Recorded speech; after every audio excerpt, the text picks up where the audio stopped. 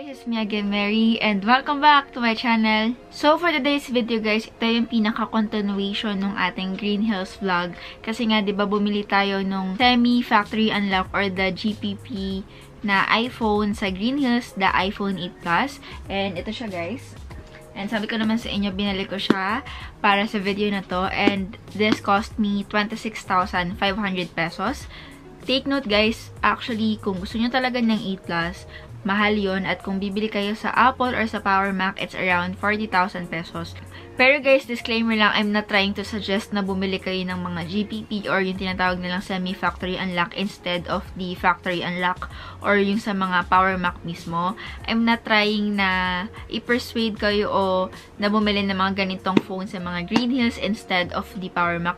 Siyempre, kayo, kayo pa rin ang bahala na sa inyo yan. Kasi yung iPhone 10 ko naman guys na daily use ko is sa Power Mac mismo galing. So, ayun, nasa sa inyo pa rin yan guys. Depende sa budget nyo yan at depende sa sitwasyon nyo. And also guys, another disclaimer, I am not a professional when it comes to this kind of stuff. Yung mga GPP or factory unlock kasi ako po ay nagre-research lamang and nanonood ng YouTube videos and based lamang ito sa aking kaalaman and sa aking mga past experiences and sa mga nakwento sa akin. So, ayun guys, yun lang yung aking pinaka-disclaimer kasi baka mamaya may mang bash natin or what. So, pinapangunahan ka lang. Bago natin siya buksan guys, explain ko lang sa inyo kung ano nga ba yung tinatawag na GPP or yung semi-factory unlock. Hindi ko alam kung magkaiba ba sila, pero ang alam ko guys, right now, eh, yung GPP is actually parang semi-factory unlock na siya na tinatawag. So, according to my source, guys, ang sabi dito is, ang GPP ay isang SIM card na merong spoofing tool that is inserted to a carrier locked phone along with your local SIM in order to bypass the carrier restrictions and can be used on local networks. So, in layman's term guys, yung GPP is isa siyang chip na color brown. Ito siya guys, papakita ko sa inyo. Ganyan po ang itsura niya. And yung chip na yun guys is kinakabit sa mga SIM card. Magkapatong po sila. And nilalagay sa mga cellphone na galing ibang countries like Korea, Japan, China na hindi mo pwedeng gamitin sa ating country na Philippines.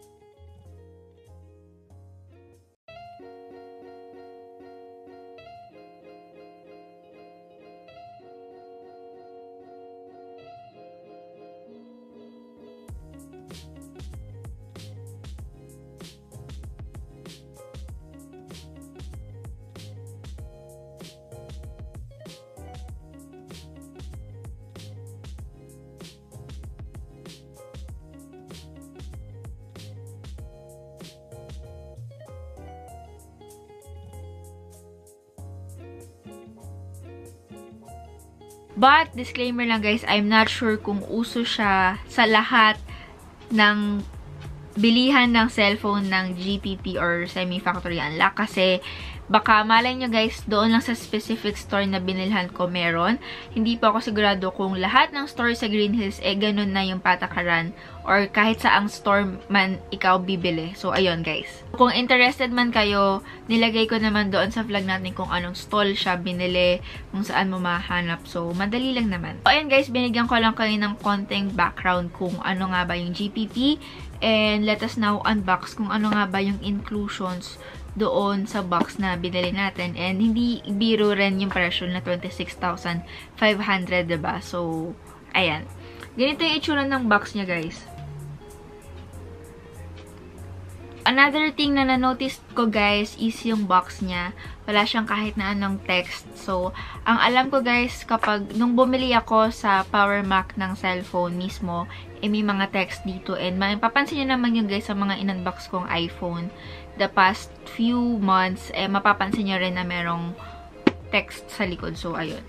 Pagbukas, what's inside is, ayun, phone na agad. Ito siya guys. Pero bago yan, let us check the accessories. So, ayan guys, meron din siyang ganito. Yung mga manuals.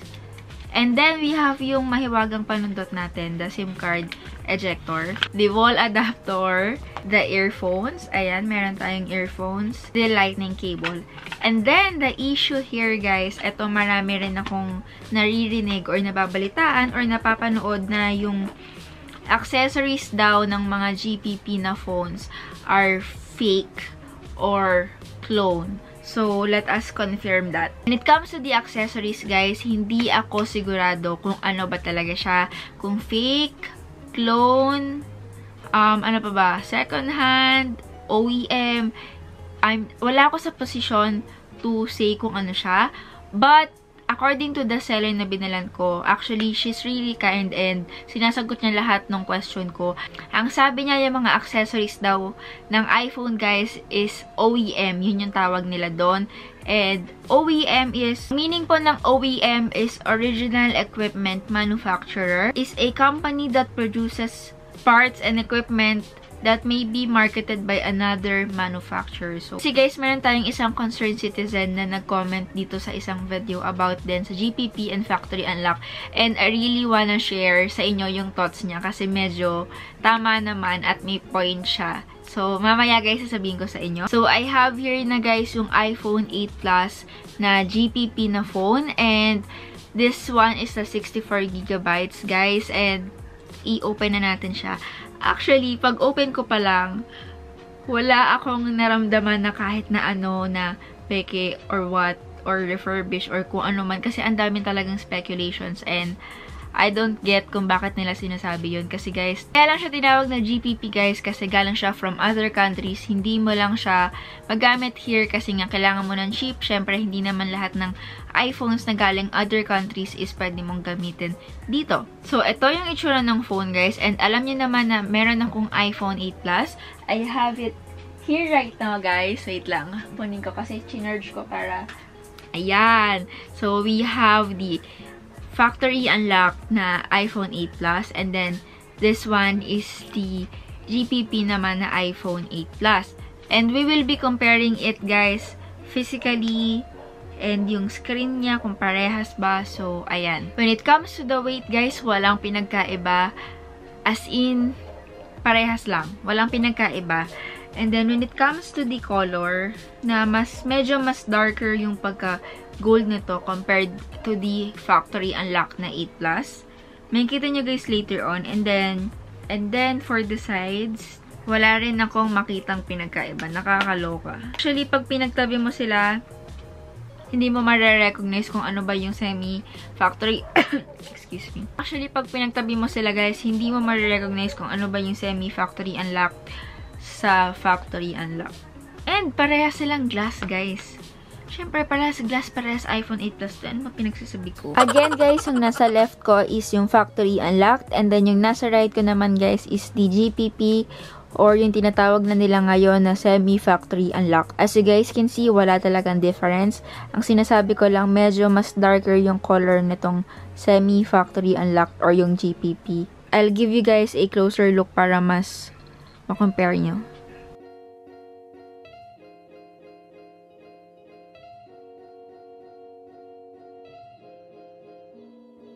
Ito guys, yung comment na sinasabi ko sa inyo. Her name is Shell Angeli Lee and nag-comment siya sa isa sa mga YouTube videos na pinanood ko about Factory Unlock and GPP na cellphones. And I think ito na yata yung sagot sa question nyo and I wanna read it and gusto kong bigyan siya ng credit. Of course, But, ito, babasahin ko na lang guys kasi medyo mahaba. Pero Tagalog naman to at maiintindihan nyo for sure to. Hi, I am a seller of iPhone 6 2015. The statement above is correct. Mura siya kasi second hand na ibig sabihin na gamit na at hindi ikaw ang first owner. Pangalawa, GPP Semi-Factory Unlock.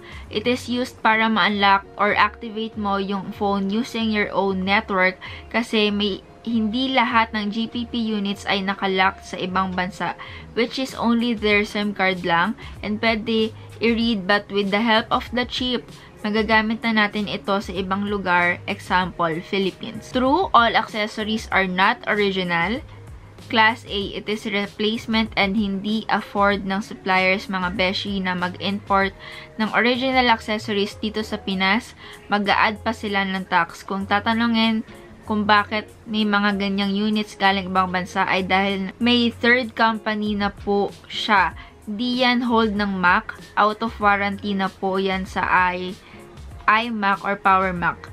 Others said, check the IMEI para sure na original. Yes, pwede ma-identify ang unit using IMEI pag wala sa site meaning fake. Ito guys, intindihin nyo ito maigi. Pero pag nasa site but hindi na same details, it is refurbished. Example, nag-type ka ng IMEI na iPhone 6 mo, it is said na 16GB gold but yung lumabas na sa site is 16GB space gray. Ibig sabihin, refurbish ang unit mo, napalitan na ng housing and maybe pati LCD rin. Hindi ibig sabihin na GPP ang iPhone ay fake na. Magkaiba ang GPP at factory unlocked kasi mas convenient ang factory unlocked. No need chip para ma-activate anywhere in the world magagamit mo siya. Please stop arguing. According to her, hindi ko na uulitin guys kasi layman's term naman yung sinabi niya pero ayun na yata yung pinakamadali at pinakamaayos na explanation na narinig ko sa mga na-research ko. So, thank you so much to you, Shile Angelili, kasi na-explain mo ng maayos sa amin kung ano nga ba yung GPP, yung accessories niya, saan siya galing, at kung ano ba talaga siya. By the way guys, sinuruan ko na kayo kung paano mag-legit check using the IMEI and then isi-check nyo sa website nung Apple kung original ba siya using those codes and then lalabas doon kung pasok pa ba siya sa warranty, yung kulay niya, anong unit niya. So, ayun guys. Hey guys, I was editing the video right now and napansin ko parang may kulang sa mga sinabi ko. So, parang ayoko talagang palagpasin nang hindi ko to nasasabi. Kasi nakalimutan ko guys, i-mention sa inyo yung advantage ng factory unlocked Unang-unang advantage guys is anytime kung kailan nyo gusto mag-update, pwede for as long as may bagong labas na update Siyempre, another advantage is kapag factory unlocked yung phone mo, kahit saang bansa ka pumunta, pwede mong gamitin. Hindi mo kailangan ng kahit anong GPP or what. So, ayun guys, safe ka kahit saan mo dalhin yung cellphone. Another advantage guys is 100% guaranteed na yung mga accessories na makukuha mo or yung bibilin mo sa factory unlocked na syempre dapat brand new sa mga Power Mac or Apple stores are original. So, another advantage guys is syempre lahat ng parts, kahit anong parte ng cellphone na bibilin mo, eh, original. Pero syempre, ang presyo po ng factory unlocked is mas mahal. Usually, mas doble or minsan triple pa sa presyo ng mga GPP or semi-factory unlocked. So, ayun guys, gusto ko lang iklaro kung ano yung makukuha mo kapag bumili ka ng factory unlocked at ng semi-factory unlocked or yung tinatawag na GPP. So, ito na yung tanong guys, kung Ate Mary, masasuggest mo ba na bumili kami nung GPP or yung tinatawag na semi-factory unlocked? Or dapat bumili na lang kami sa mga Apple stores para safe. Ito lang naman yung mapapayo ko sa inyo mga beshi. Actually, wala naman yan sa akin. Nasa sa inyo yan, nasa kalagayan nyo yan, nasa sitwasyon nyo yan, at wala sa akin yan. Pero ito lang mapapayo ko kung budget conscious ka at medyo kapos ka pero gusto mo ng medyo premium phone, gusto mo branded, gusto mo Apple, gusto mo iPhone, then go for it, go buy it. Kung yun yung magpapasaya sa inyo, huwag kayong magpapa-apekto sa sinasabi ng ibang tao na ganito, ganyan. Just be safe, just go for the trusted sellers like yung pinuntahan ko. Mas mag-ingat lang kayo at mag-canvas kayo maigi. Do your research. Pero kung ikaw naman yung klase ng tao na conscious when it comes to the phone na you are using and medyo sobra naman yung pera mo and then ayaw mo ng mga hand-me-downs, ayaw mo ng second hand, gusto mo, yung gustong-gusto mo brand new talaga, then go to the Apple Store. Go to the physical stores. Go for the brand new ones kasi depende yan sa situation nyo. Depende yan sa capability nyo to buy an iPhone. So, ayun guys, malinaw tayo. I'm not trying to recommend you na bumili kayo ng GPP or yung semi-factory unlock sa mga Green Hill stores. Hindi ko rin naman kayo ina-advise na bumili ng brand new sa mga Power Mac or sa mga kahit na anong physical stores, nasa sa inyo yan kung ano yung kaya nyo, kung ano yung gusto nyo. Hirap kasi talaga guys magsisi sa huli, mahirap magbenta ulit ng cellphone. So, I suggest pag-isipan nyo ng maigi. Pero, alam niyo, cellphone lang naman yan, hindi kayo dapat magpaka-stress. Yun lang yung advice ko. So, that's it for today's video, guys. Sana marami kayo natutunan, sana nag-enjoy kayo, and sana napasaya ko kayo. Kung nagustuhan niyo yung video na to, don't forget to give this video a thumbs up, and kung hindi pa kayo nakasubscribe, mag-subscribe na kayo kasi bakit hindi? so, ayun guys. Bye everyone!